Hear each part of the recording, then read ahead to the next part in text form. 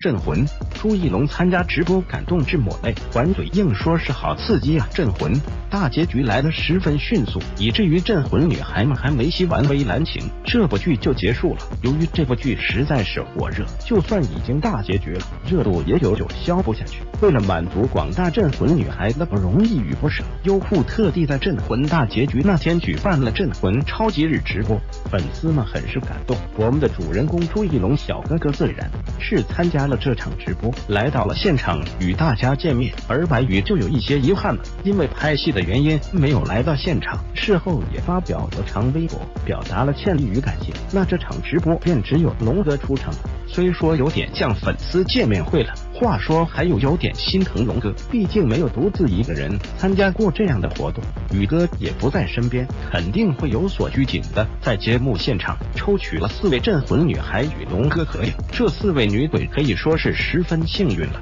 不知道在现场吸引了多少仇恨。这有什么办法？好运就是来的这么突然。四位幸运观众上台与龙哥合了影，并接受了采访。龙哥贴心的递过话筒。仅仅是这样一个绅士的动作，便让全场尖叫声吵翻了天。镇魂男孩也被搬上了舞台，不仅有镇魂女孩，还有众多镇魂男孩，他们不能被忽略。接下来为龙哥献上了粉丝们制作的小礼物，是一个精心制作的视频，视频中包括了很多内容，有龙哥各个直播。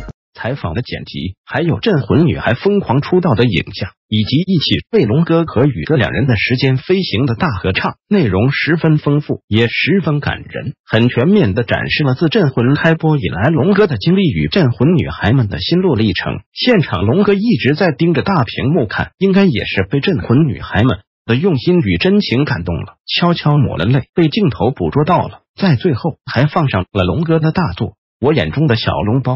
粉丝也被感动了，弹幕也纷纷刷起了评论。谁知我们的龙哥不按套路出牌，看完之后竟然还嘴硬，明明已经十分感动了，一句好刺激呀脱口而出，真的是惊到小笼包们了。最后，小笼包们为龙哥。献上了一个大大的蛋糕，都是龙哥喜欢的颜色，不愧是专业的小笼包，十分衬人了。为了让大家都入镜，龙哥特地跑到前排与大家合了影，暖男无疑了。这样的朱一龙你喜欢吗？图片来源网络。